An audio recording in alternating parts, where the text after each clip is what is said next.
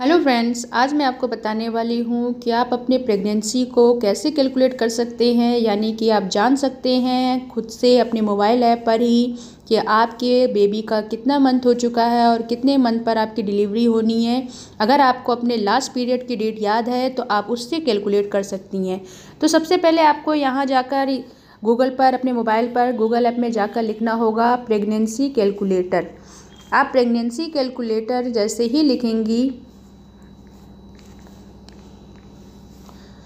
लिखकर आप सर्च करेंगी तो सबसे पहला कोई भी आता है, यहाँ बहुत सारे आए हैं, आप किसी पर भी क्लिक कर लीजिए, जैसे फ़र्स्ट वाले पे मैंने क्लिक कर लिया है तो यहाँ पर क्लिक करते ही एक इनकी वेबसाइट ओपन हो जाती है। है, देखिए, ये आ गया है।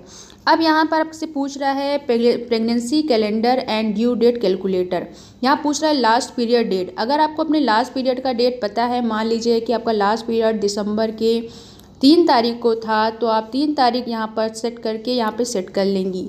और उसके बाद अभी तक अगर आप, आपको पीरियड नहीं आया है तो ट्वेंटी एट डेज़ हो गया है।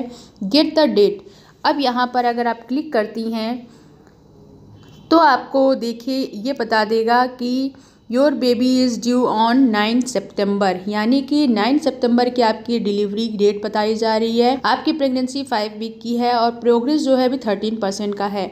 यहाँ पर वीक बाइज वीक वीक कौन से वीक में क्या प्रोग्रेस है, क्या वीक में क्या देख सकती हैं, ऐसे आप करते करते किस वीक में आपका बेबी कितना ग्रो करेगा, सारी चीज़ें इस कैलकुलेटर के थ्रू आप जान सकती हैं, अगर आपका, अगर आपको अपना लास्ट पीरियड का डेट याद है।